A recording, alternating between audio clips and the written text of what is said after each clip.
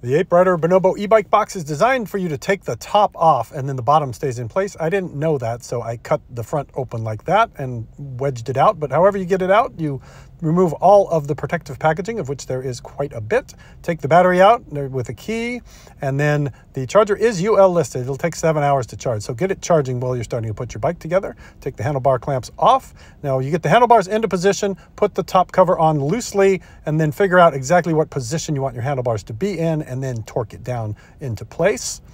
And then there are four connectors, two red ones, two green ones, two on the left, two on the right. And it's pretty obvious where each one goes. So you just plug them all together to hook up the electronics and then loosen up your cup holder, take it out, make sure that it's horizontal, tighten it up, test it with a cup. And then the pedals go on counterclockwise for the left one, clockwise for the right. And all the tools are included. Then put your battery on, push it forward till it snaps. And then if you want to put the mirrors on, you put the spacer on over the other spacer, put the mirror in its place, and then tighten up that bolt. And now you're ready to ride pretty much. I recommend checking the tire pressure and putting them up around 30 PSI, and then get out on the road and have some fun. And if you want to buy one of these bikes, 10% off with coupon code HOBLIN.